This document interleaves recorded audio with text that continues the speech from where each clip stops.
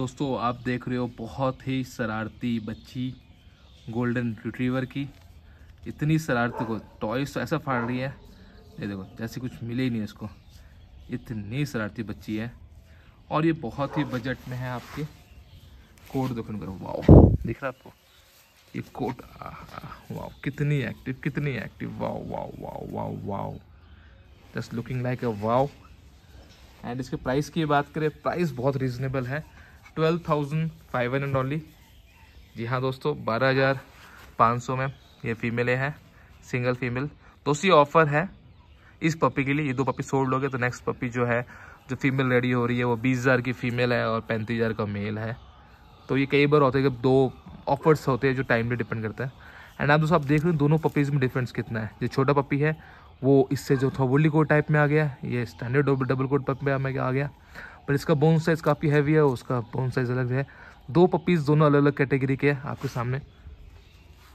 Height और ये तो इतना शरारती बच्चा है, ये देखो। दोनों ही दोनों ही शरारती तत्व अवेलेबल डॉगीज वर्ल्ड के पास। फटाफट कांटेक्ट करो डॉगीज वर्ल्ड को। और ये हस्की हाँ जी आईज देखने के ऊपर हस्की के।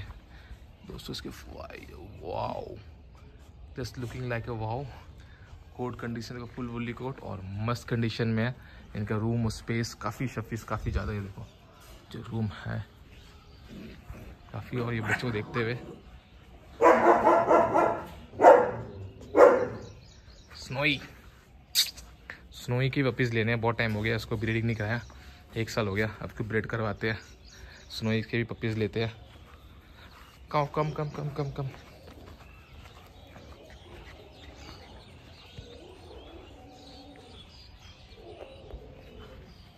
इचिंग कर रहे हो इचिंग कर रहे हो? दोस्तों, जब भी इचिंग हो, अब, आ, लगाओ नोटिक्स पाउडर ये भी लगाया था इनको मैं।